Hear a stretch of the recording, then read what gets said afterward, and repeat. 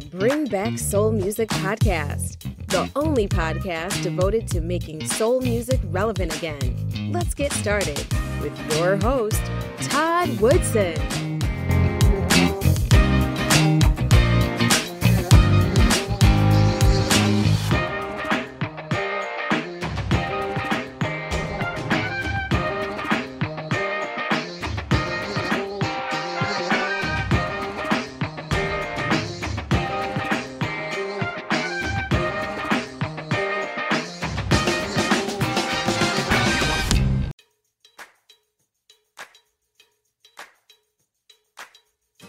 Thank you for joining me for another episode of the Bring Back Soul Music Podcast. My guest today is a talented singer out of Toronto, Canada. His name is Gary Beals. Mr. Beals, how you doing today? I'm doing good, feeling good, definitely. All how right. you doing? Well, I'm good, man. Thanks for asking. Welcome to the All Bring right. Back Soul Music Podcast. Thank you for having me. All right, fantastic. Um, now, like I mentioned, you're out of uh, Toronto, Canada. You have a new single out called "Me for Me," which is a jam. I must tell All you. Right. Um, Appreciate that. We're going to get into that a little bit later. Uh, mm-hmm. Keep people in suspense too long. Okay. Um, but before we do that, um, tell us a little bit about yourself and your background. All right. Well, uh, I am a, a singer and a songwriter. Um, a little bit of background about me. Um, I'm originally from Nova Scotia in, in Canada, the province of Nova Scotia. Um, rich Black history. And uh, you know, I grew up singing in the church. Um, that's where I get, I guess, my soul, my gospel kind of sound from. Uh, my parents used to play a lot of like, you know, old soul music, Al Green, Otis Redding kind of stuff. So I fell in, in love with music from a very young age, gospel, soul, um, some funk and stuff, James Brown type stuff. Um, yeah, and I just, you know, I, um, music is, is, is my passion and um, yeah, I mean, I just want to be able to create thoughtful, authentic, um, vibrant kind of music, music from the heart with a bit of emotion. Sometimes okay. a lot of emotion. Right, and um, yeah, you can definitely uh, hear the soul in your voice. So, mm-hmm. Um, music must have been real big in your household growing up. Yeah, I mean, my father used to play like you know those records. He used to, like I said, he used to play like um, some some uh, James Brown, the funk kind of stuff, um, from you know the Temptations to some Aretha, um, to Whitney, like so many you know so many different artists.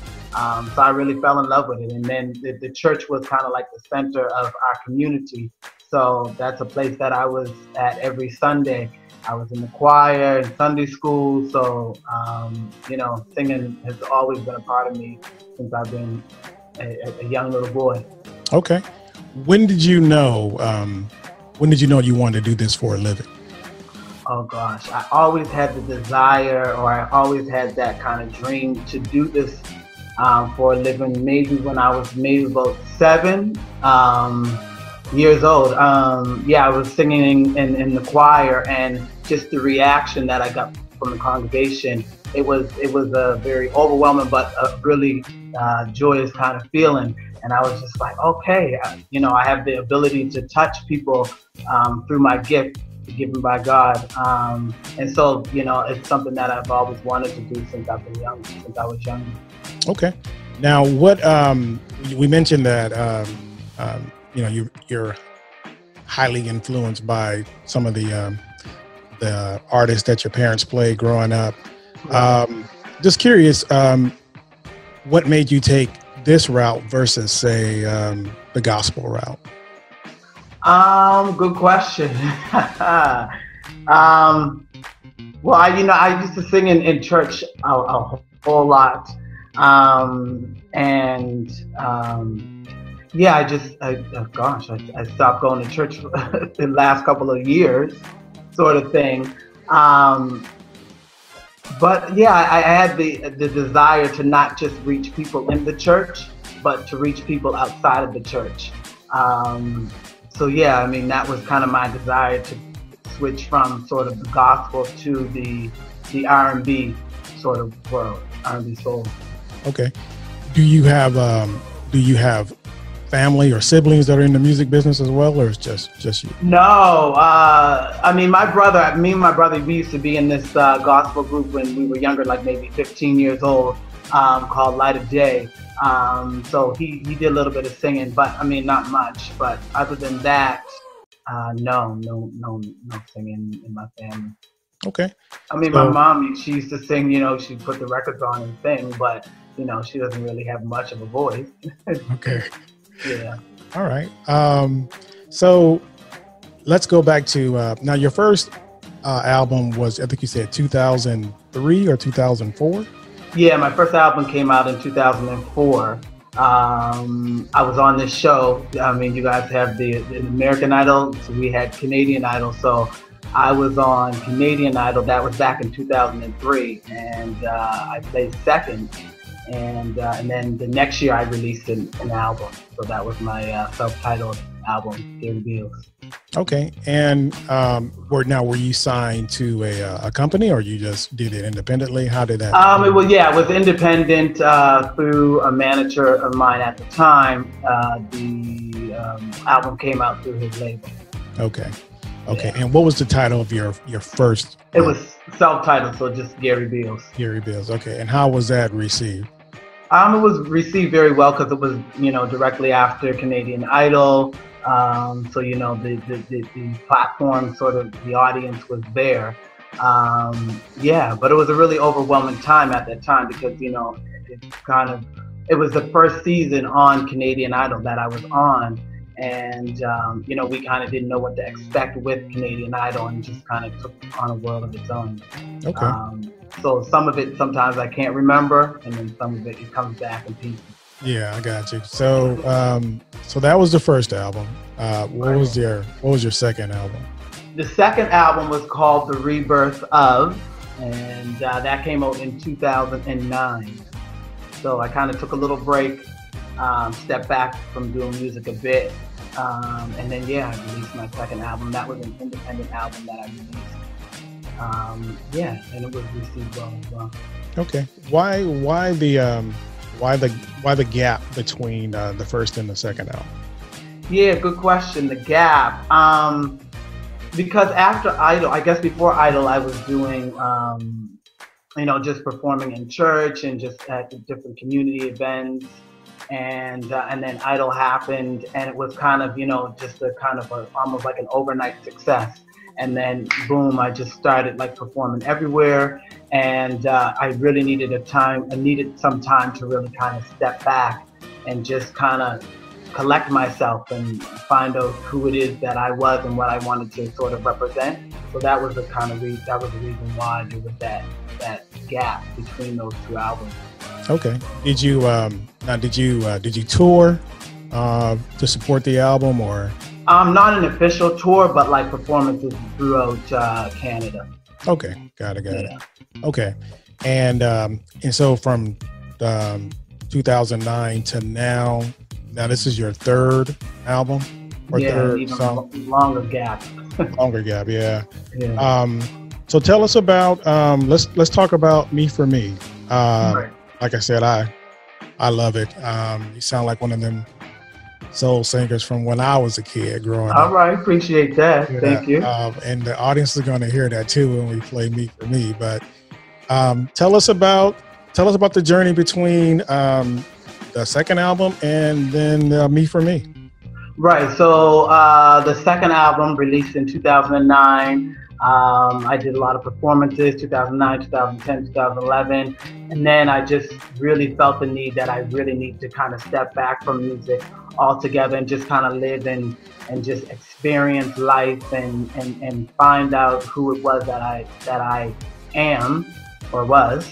Um, and, uh, and then I would, you know, I would uh, meet up with producers, write music, uh, but the music it just didn't feel authentic to me.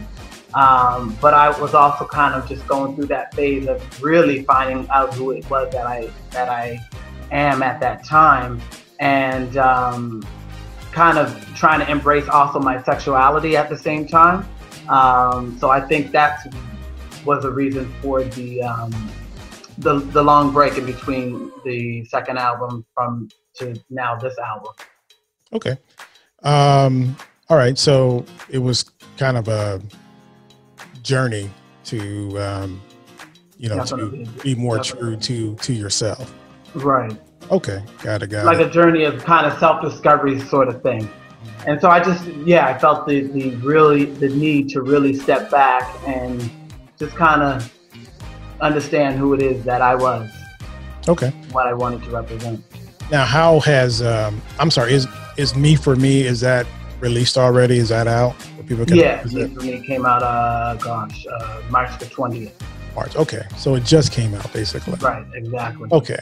Um, how has it been received so far? I know it's still kind of early, but um, so far, it's been received well. I mean, I, I haven't released any music in 10 years, um, but, uh, you know, people love it. The emotion um, that I wanted people to feel with the, the record itself, that, you know, I'm, I'm kind of getting that feedback. And it was it was nerve wracking releasing a, a, some music again after so long because it's like, you know, it's your baby and you hang on to it. And, you know, I love it, but you want other people to love it as well. And so it was nerve wracking kind of you know, I, I, wasn't sure how people were going to receive it. Um, but I'm happy to know that, you know, people really love it and they get it, you know, even without me having to explain what Me for Me is all about. People get that, you know, I get messages in terms of like, oh gosh, this is this song really it touched me and this is what I get from it. So it's it's a good feeling. Okay. Did you um now between the um, second album and Me for Me, did you have some of the same fans? Did they remember you from the second album, or they're just now rediscovering uh, you again? Yeah, I mean, I think so. I still had that, uh, I guess, that core support, and and because I'm from Nova Scotia, there's that, um, you know, there's that really strong support system that I have that I'm really appreciative of. Um, so yeah, they, I mean, they stuck around. They're still around, and then the goal is to just get you know more people to listen to the song um, to the song and, and to the album once it's released. Okay. Yeah. And can we expect more music like Me for Me, or did you kind of delve into maybe rock or pop uh, or not rock, but kind of pop, a little bit of uh, like it's, it's it's really an eclectic album, um, and it shows just different sides of, of me. Um, so yeah, you can expect a little bit of me for me, but you can expect something like you know a different kind of vibe at the same time. More up there's some up tempo, dancey kind of tracks, um, some smooth tracks. Um, so it's a it, I like to say it's, it's really eclectic. Um, yeah. Okay.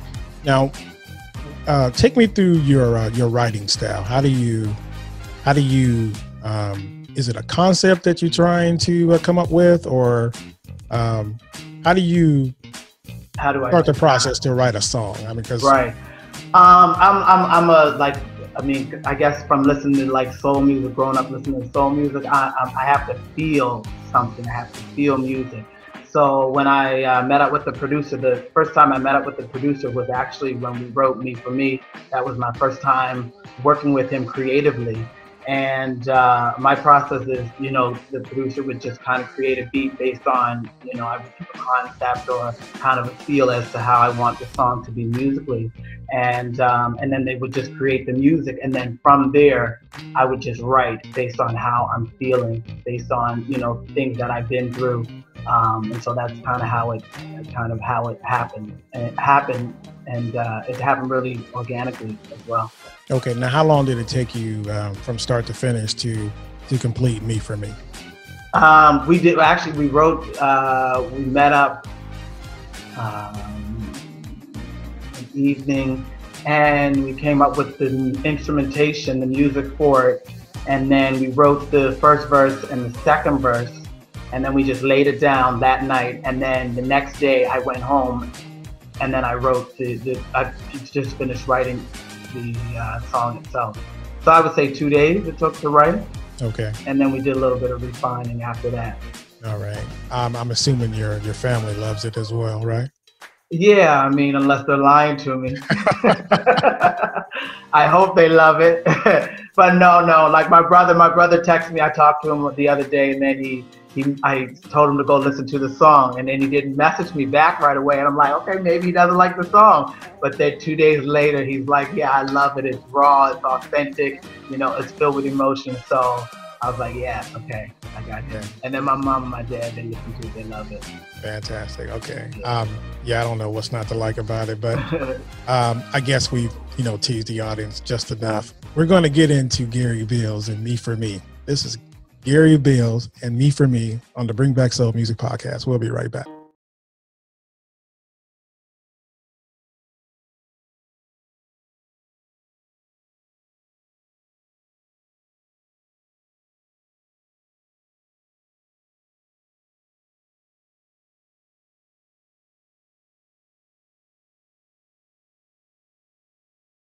Continue our episode after this message.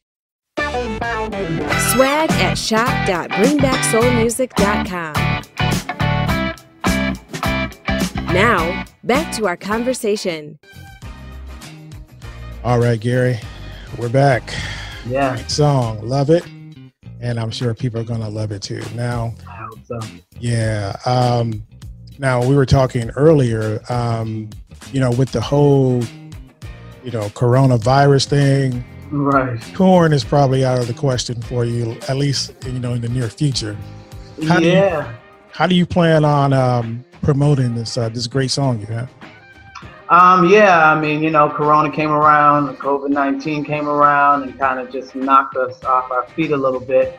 Um, so, you know, I had some performances lined up. Obviously, they, they got canceled. Um, but just to promote the, the song Me For Me, um, continue to promote it through social media, um, maybe do some live stuff on social media as well, Instagram, um, some stuff on Facebook. We also have a video uh, for the song as well that's um, set to come out. So um, that'll kind of, you know, bring back a little bit more momentum for the song itself and hopefully uh, widen the audience um, to get more eyes and ears on the track itself. Um, so I'm excited for the release of the video. Um, yeah, I mean, promote it any way we can through radio. Um, yeah, and just look at other ways in which we can strategically kind of get it out. Gary. And um, uh, you said that you're going to release a uh, video. Is That's the right. video completed or? Yeah, the video's done. The video's done. We just need eyes to see it, and we're ready to release it. Um, yeah, I'm I'm excited for people to see this video. Okay, and is it going to be on on your YouTube channel or how are you going to how you? Yeah, gonna- it'll be it'll come out on my YouTube channel, which is uh, Gary Beals Music. Um, I'll also uh, we'll also have it on the socials, so my Facebook and uh, Instagram as well. If it's not the full video on the socials, it'll be um, it'll be uh, at least a trailer, a snippet of it. Okay, and we'll have um, we'll have information about Gary and all his um, his social media sites, his YouTube, um, to, I mean his YouTube, his YouTube channel, and all his social media sites in the show notes if you're watching on um, YouTube and also on our website at Bring Back Soul Music TV, BringBackSoulMusic.com. Excuse me, BringBackSoulMusic.com. Okay, are you getting a lot of airplay um, up in uh, Toronto? Um, we haven't actually uh, solicited to like radio stations. Okay, Um, more so, just kind of we just rolled it out uh, online, kind of social media, just to start it out, um, sort of like a soft kind of launch, and then just just build from there. Um, But yeah, the plan is definitely to take it to, to radio. Like I said, once the um, the video comes out, just build, continue to build from there.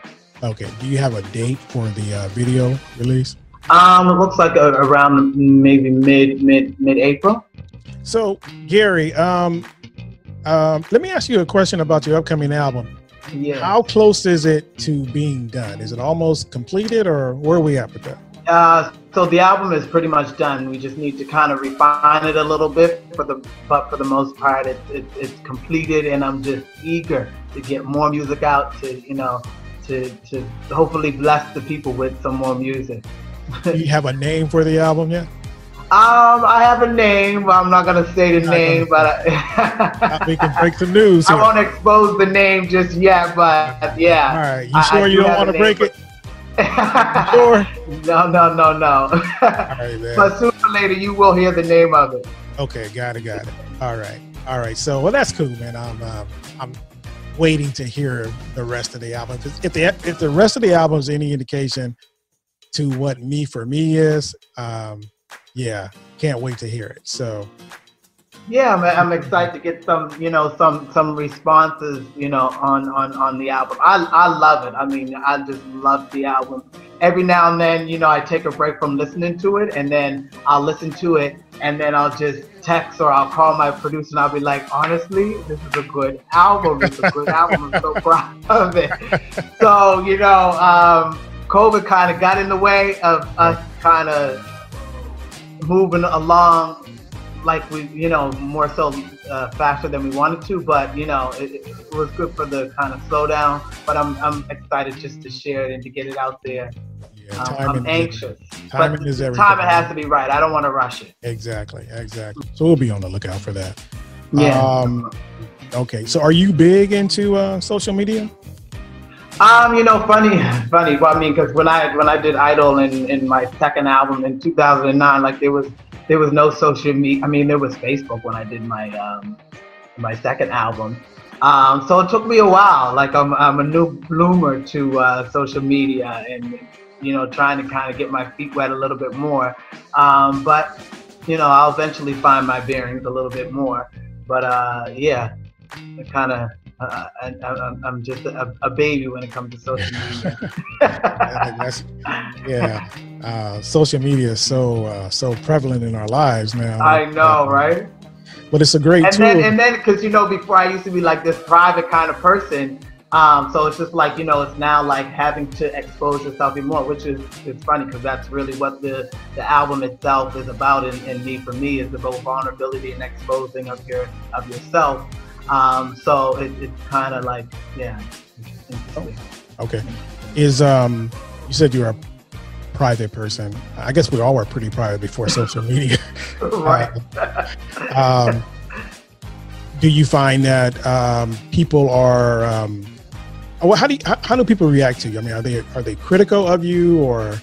Um, uh, no, not really. Um, yeah, in terms of how people react, I mean, it's pretty genuine. Um, yeah, I mean, like I said, I you know I, I'll put myself out there and, and, and be as authentic as I can, and I think you know people sense that and they see that, and you know I mean I guess they just receive it well. Either they receive it or they don't, and if they don't, then I just don't give energy to that. Right. Um, exactly. Exactly. Exactly. Well, you keep doing you, man. I mean, um, you, know, you only got one life, and you gotta exactly gotta do what you gotta do. Yeah. So. Um, so let's get back to uh, Me for Me now. You co-wrote that with uh, another producer. Um, so yeah, the producer uh, created the music for it, and then uh, it was written. The lyrics were written by myself and uh, actual cousin of mine.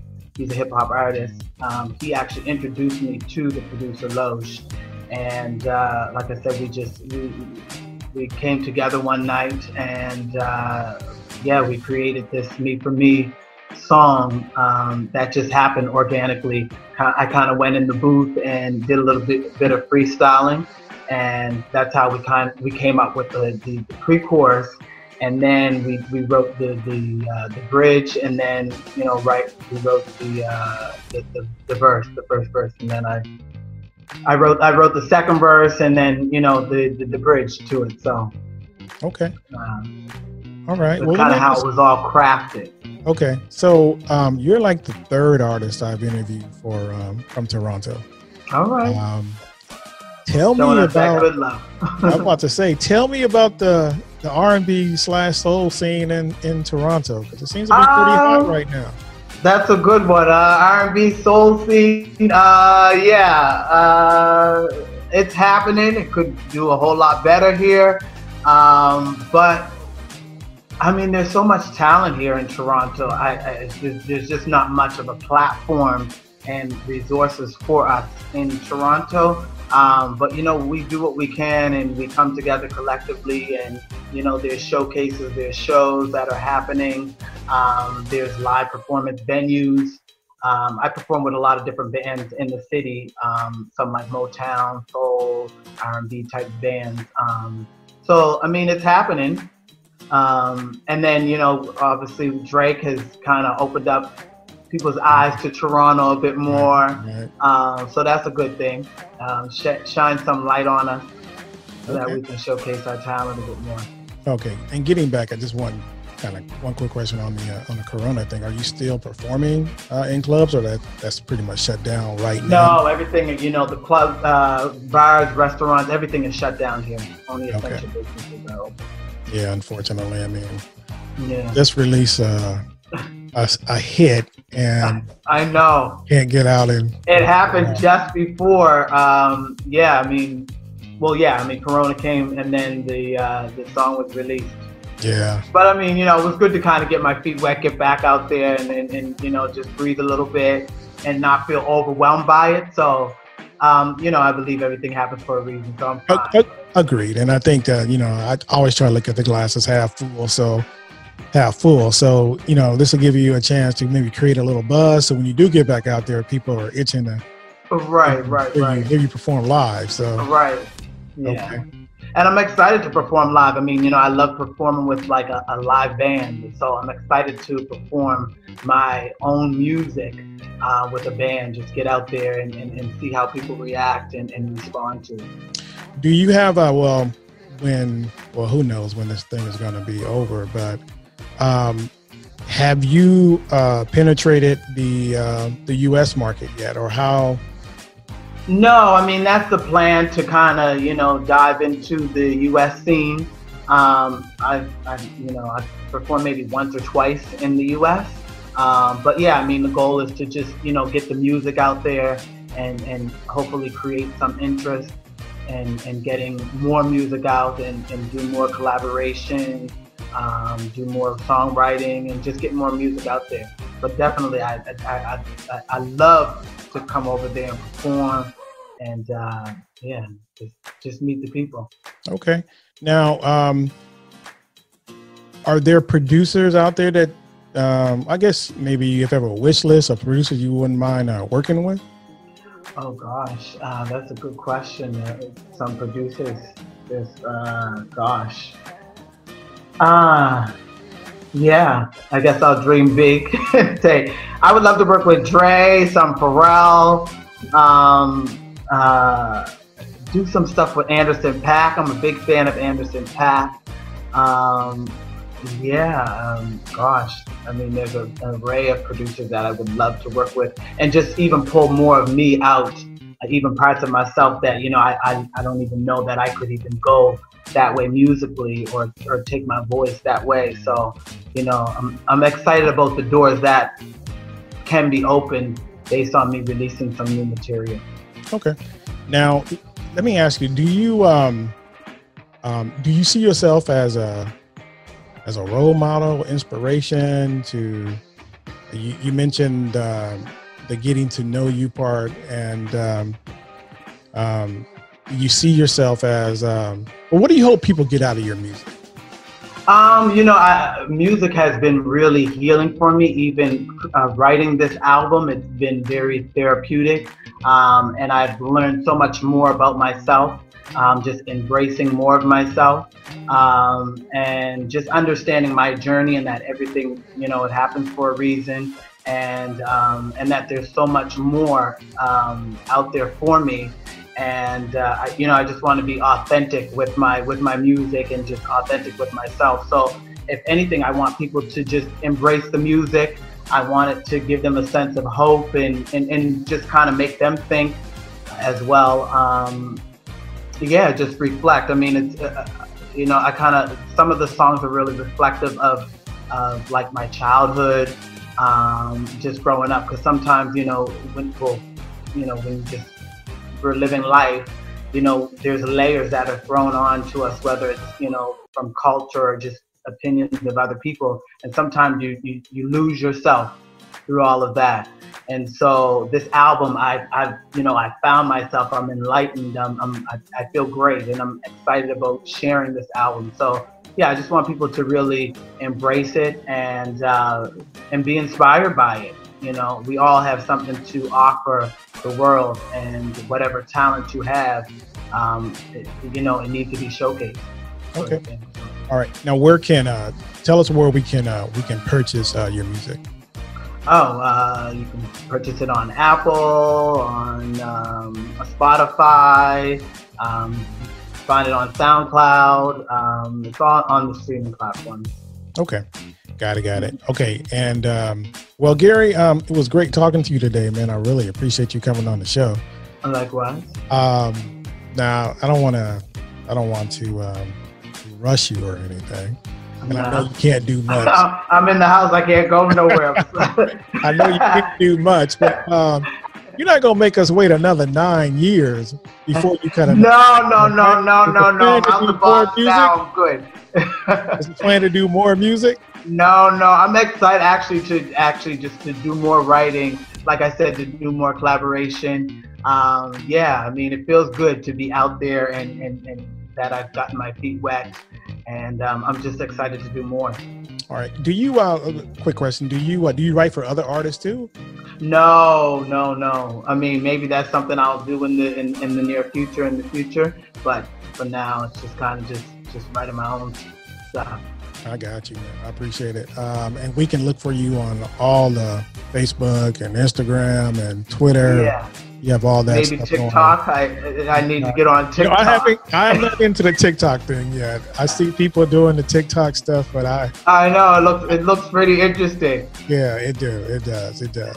But yeah. I, I appreciate you, man, coming on the show today. Yeah. yeah, man. Keep in touch, man, and keep us posted on um on what you're doing, man. Um. Yeah, I, I definitely will. Okay. Yeah, and Thank you'll, you, brother. you have to check out the video when it's out and when we get some new releases out. Um, yeah. yeah, I mean the plan was to do more, um, shoot more videos. Okay. Um, but you know, kind of situation that's happening now, kind of put a little it halted that a bit. But um, yeah. Yeah, we'll get you back on the show too at some point, man. Yeah, um, for sure. It'll be after all this kind of, you know, things guys down, right? that, and then uh, yeah, yeah, yeah. Once you start getting the album out there, man, I'd love to have you back and talk about the album and yeah, other good stuff. Yeah, for sure, for sure. All right, Gary. Amen. All right, Thanks, appreciate brother. it, Talk. Thank you very much. Yeah, thank you very much, Todd, for having me. Really nice meeting you, man. And uh, likewise.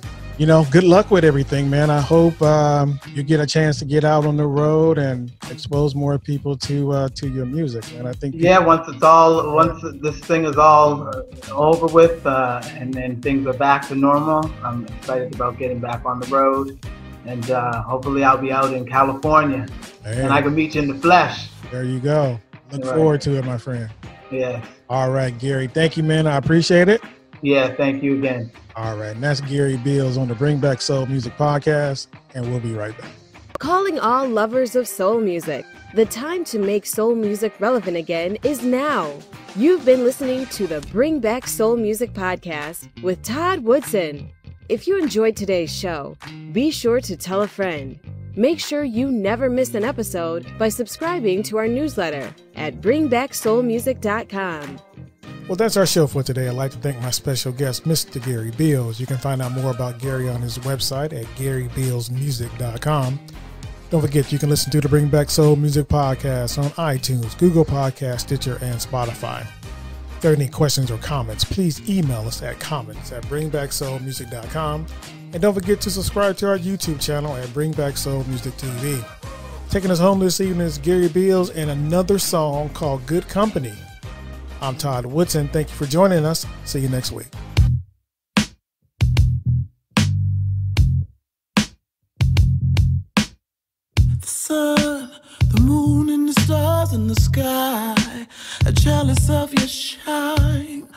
You're an ultimate high. I'm so glad that you're mine.